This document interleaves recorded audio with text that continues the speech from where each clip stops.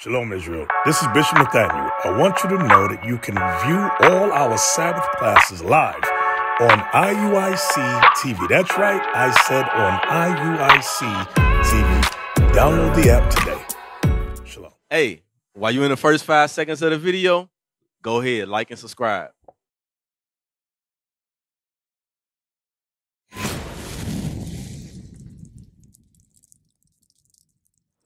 How you doing, sister? So I heard that you know you're an Israelite, right? Um, yeah, yeah, yeah, I know that, yeah. Oh, how long you been knowing you've been a, you an Israelite, sis? About Two years now? It's sad, but yes, yes, I've been doing it for two years now. No, we come from Israel, uh, we, uh, the, the line of Shem. So what's required of you knowing that you're an Israelite? What's required of you? I'm sorry. What is required of you knowing that now that you know that you're an Israelite? What you must do now? What's required of you? Follow the commandments. Follow the commandments. That's right. Can I bring you out one commandment right now? Let's get it. Deuteronomy 22 and 5. How you doing, brother? What's your name? Stephen? Eastman. Israel. Israel? How you doing? My name's uh, Ariel, by the way. You better bring out the law, okay? This is something. This is for you, sister. Read. Deuteronomy, Deuteronomy chapter 22 and verse 5. Uh-huh. The woman shall not wear that which pertaineth unto a man, Right? Neither shall a man put on a woman's garment. For all that do so are abomination unto the Lord thy God. Now read it from the top. The woman, The who? the woman, So we're talking about a woman because you're a woman, right? So this is the law for a woman. It starts with the woman first, okay? Read. shall not wear that which pertaineth unto a man. So a woman shall wear articles of clothing that belong to men. So let me ask you, because a lot of people might not know that because we bring out this law all the time. Let me ask you, so matter let me ask your brother first. What are some uh, men's clothing? What is some men's clothing that women wear? You don't know? What you got on right now? Huh? What's this right here? Pants, right? So those are men's clothing, right? That women wear. Read top. The woman shall not wear that which pertaineth unto a man. So a woman should wear things that pertain to men. And what you say it was? Pants, yes. Even those leggings too. You ain't supposed to wear that. Read on. We'll get to the we'll explain further. Read.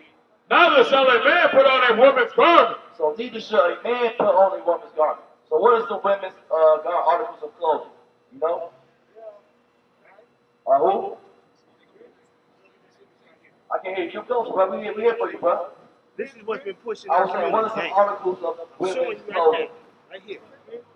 Can't What are some find articles facts of in the clothing? Let me ask you, bro. So what are some women's clothing? Some articles of women's clothing. Matter of fact, I I know you just got it. Let's read from the top. Check this out. Take this. The woman shall not wear that which pertaineth unto a man. So this law says a woman shouldn't wear that which pertains to men.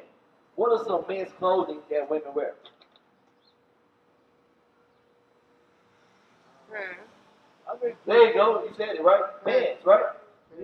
Pants. So a woman shouldn't wear pants, right? Well, you know, don't, don't don't do that. We go. We reading the word of God. Ain't no, I don't know. We reading the words of, of the Lord right now. Read from the top. The woman shall not wear that which pertaineth unto a man. Y'all don't read it. They just got here. Deuteronomy chapter 22 and verse 5. It's the book of Deuteronomy, chapter 22, and verse 5. The book of Deuteronomy. The first five books of the Bible. Read. The woman shall not wear that which pertaineth unto a man. So a woman shouldn't wear articles of clothing that belong to men. You hear that? You know? Neither shall a man put on a woman's garment. So neither shall a man put on a woman's garment.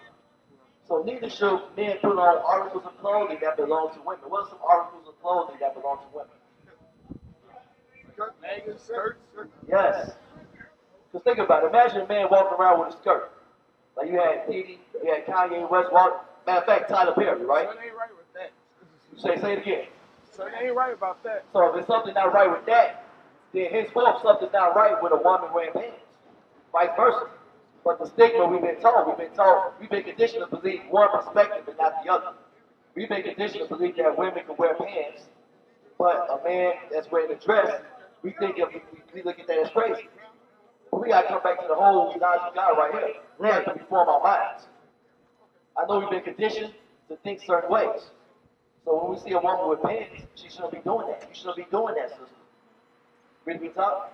The woman shall not wear that which pertaineth unto a man. So a woman should wear clothing that pertain to men, like uh, pants, even shorts, boxers. Right. Because shorts is a short form of pants. Why it's called shorts. It's a short form of pants. Short pants. You know? Neither shall a man put on a woman's garment. So neither should a man put on a woman's garment. Because if you think about a man with a woman's garment, what type of attributes does that man have that, that wears a dress? Think about Madea. What, what's her attributes or his attributes? It's confusion. I'm saying here's her. It's confusion. Bring it out. She put on a dress, he exceeded. There we go again. He puts on the dress, and what does he act like? Right. We all see Madea family wedding. We all see that trash. She talked like a woman. He talked like a woman. Walked like a woman. Everything. Did he do a concert a couple weeks ago with some Daisy Dukes or something? You saw that? Looking crazy as hell. But then a couple years back, he up there giving uh, T.D. Jakes the Holy Ghost. It's confusion. Right. It's hypocrisy. He in the church with T.D. Jakes, but he on stage wearing some damn Daisy Dukes with a blonde wig on. Come on, come, come, come talk to me, brother. I can hear you. I thought he did it for one. It's good for one, but he actually like this. Hey, it's confusion, bro. Read on. Read what's up. The woman shall not wear that which pertaineth unto a man. Uh-huh. Neither shall a man put on a woman's garment. Now let's talk about this though. The flip side of a, a woman putting on pants. What type of attributes she have if she wear the pants? I'm gonna give you a hint. There's a saying that I wear the pants in the house. So if a woman thinks she got on the pants, who does she think she is? A man. Masculinity, right. You know what I'm saying? Because a woman, matter of fact, her pants, you got a zipper, right? What? What does a woman go put out? She got a zipper. What is she putting out? No, no, let's see on the cover. Unless she undercover, right. Some roll like that though. So I ain't about to go there. It's disgusting though. You know what I mean? It puts on the attribute of a man, right? Because they're saying, I wear the pants in the house, hence I'm in control. I'm the man. Think about a car. When you get in the car, it's only one steering wheel, right? We both can't be the driver, be in the driver's seat. I have to lead as a man, and she has to follow as a woman. You know? Neither shall a man put on a woman's garment. So neither should a man put on a woman's garment that's going to put on a spirit, a spirit of femininity on him. Right. The proof, uh, Madea. Who else? Uh, Martin. With, uh, uh, what's, uh, Sheneneh We all remember Sheneneh What about Jamie Foxx? One. Right, they put on a dress and they act like a woman. And want me to believe that this man is, is a manly man. We all heard the rumors. We ain't about to go there. It ain't about that. We got to edify y'all to get you to understand that that's confusion. You know? For all that do so are abomination unto the Lord thy God. So if you do these things, you're an abomination. Let me ask you something. What is abomination? What does the word abomination mean? You don't know? Okay, bro. What's your name, bro? Eric. Eric, how you doing, Eric? What's abomination? What do you think that means? When you first hear the word abomination, what comes to your mind? Yeah. It's basically kind of like that. Yeah. Destroy? I can't think. Abominable is a disgusting thing. Get uh, Jeremiah uh, 55 and uh, 5, right? 44 and 4. Yup, get that. And we'll get a few more scriptures with abominations. Right? The book of Jeremiah, chapter 44 and verse 4. 44 verse 4, y'all. Howbeit I sent unto you all my servants, the prophets, rising early and sending them, saying, Oh, do not this abominable thing that I hate. Do not this word. Abominable thing that I hate. See, the Lord hates abomination. That's right. He hates when a woman puts on pants. Right. He hates when a man put on the dress. Right. It's confusion. Because it puts forth an attribute in you. It puts forth a spirit in you. So if you're a man wearing a dress, it puts forth an attribute of femininity. Right. So if a woman wearing pants, it puts forth, a, puts forth an attribute of masculinity. But God didn't make you a man. He made you a woman. So he's supposed to act and look apart. He made us men. So he's supposed to act and look apart as men. Oh But some people don't understand that. Just like in high school, they had cross-dressing day. We was conditioned to, these things were conditioned in our minds since the very beginning. Everything was influenced by, us- by us being conditioned. So you think you got your own mind, but you don't. Because everything was conditioned from us from the very beginning. Right. Kids in high school, cross dressing day. Boys dressed like girls, girls dressed like boys. We thought that was funny. We thought it was cute. But that's an abomination to the Lord. We was conditioned from then. So that way when we grow up now, we think it's okay. We think it's okay for a woman to wear pants. We look at a man wearing a dress, well, that's his life. No, that's an abomination. Am I to judge? You can't judge because God said it's wrong. Right. So if God says it's wrong, then we should stand by that. Yeah, like Mark 15 to 13. Let's see some more abominations. Let's see what God thinks about abominations. Because remember, he said cross dressing is abomination. That's what we're talking about. Sirach chapter 15, verse 13. Bring it The. Lord hateth all abominations. No, he hates some abominations. The Lord hateth all abominations. So he hates that, sister. It started with you. It said the woman should not wear that which pertains to men. Neither should a man put on a woman's garment. The scriptures for everybody, but you have to get out those legs, you have to get out those pants, put on the dress. Read from top. The Lord hateth all abominations. Uh-huh. And they that fear God love it not. and they that fear God, love it not. What is? How do you fear God? How do you fear God? You know how to fear God? Man, I sleep. I'm scared to go sleep. It's Proverbs 27. I want that one. How do we fear God? Because we gotta come back to the fear of the Lord. 'Cause we've been subconsciously conditioned to think that what we see is okay. It's not. I know we're on the left side. I know we see it all the time. That? The book of Proverbs, chapter 3, verse 7. Come on. Be not wise in thy own eyes. Fear the Do Lord. what? Fear the Lord. We Lord have to fear the Lord. Come on. and depart from evil. That's how we fear God from departing from evil. But we've been subconsciously conditioned to think that a woman with pants is not evil, but it is. You know why? Because the Lord says it's an abomination. We've been thinking that a man with a dress is not evil, but it is because the Lord said that's an abomination. We got to depart from that. We have to change our mind. Kevin, right? That's your name, right? Eric. Eric. Eric, my bad. What's your question? I thought you had your hand up. Do you understand that about cross dressing? Yeah, I was I was trying to say like Uh-huh. Will Will Smith, uh, son. What's his name? Jaden Smith? Yeah, he had a dress on and all that. Uh, Right. Right, he was uh, modeling for some um, for some clothing line. That stuff was forcing our people. So when we see that, we think it's okay. It must be okay. He's doing it. So we're conscious, subconscious conditioned to think it's okay.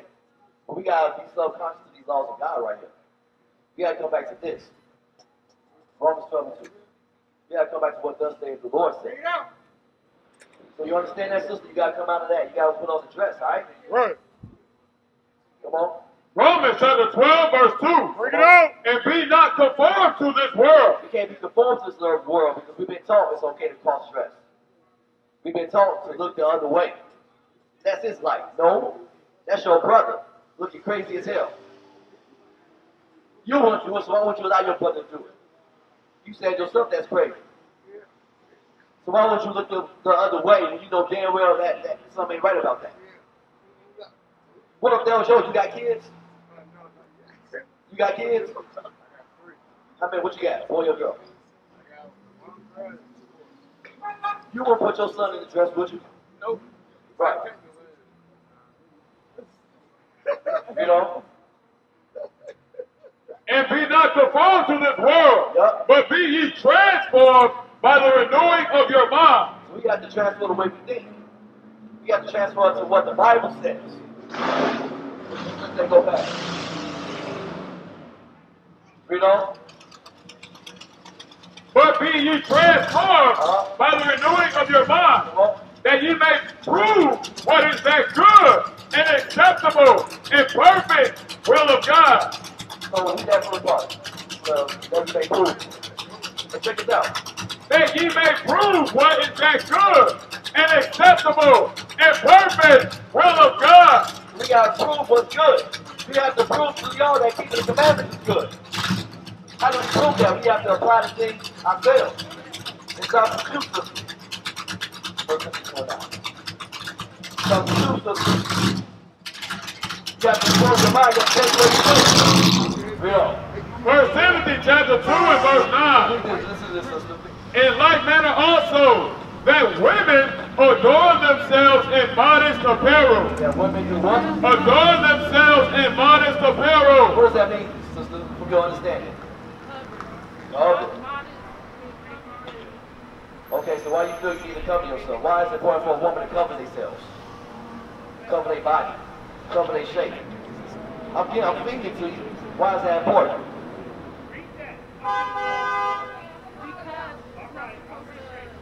Sure. If it was shit, if it was sober, nobody but you. There you go.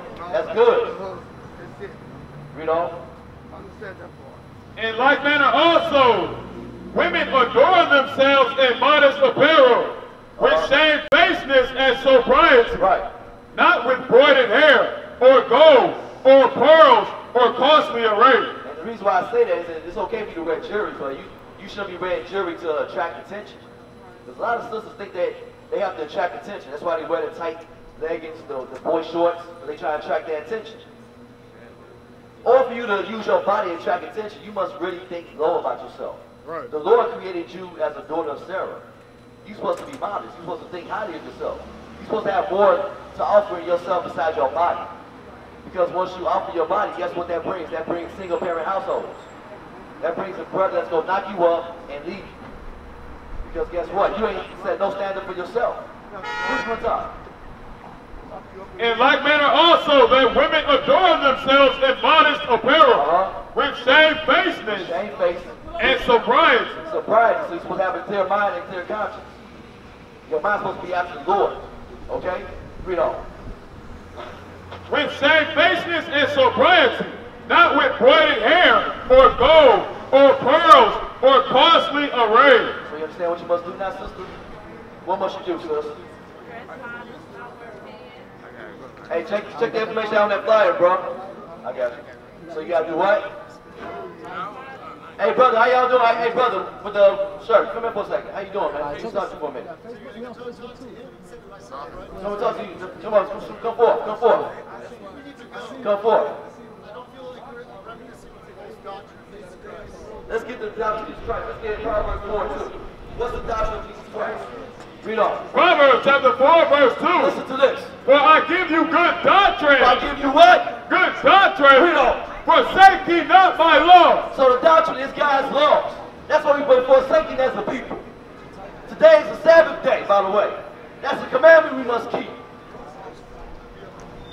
A sister's supposed to wear modest apparel. She's supposed to put on the dress. That's the law. That's the doctrine we've been teaching to our people. Right. That's our doctrine. That's the doctrine of Christ. The hell what you think. We used to scream black power while heroin was pushed. But at the end of the day, nothing's in vain. IUIC has been given a vision. The tents of Judah has risen. Many has attempted the mission, minor murmuring, omitting, and missing the mark. Just reading that he had the flame of fire in his eyes gave us the spark. We on Paul's mission. We out on the road, purple and gold, from Mexico, Cuba, Haiti, Ghana, Sierra Leone. 144,000 boots banging, concrete crackling. These are our men repented at heart. The scriptures is proof. IUIC, we deliver the truth.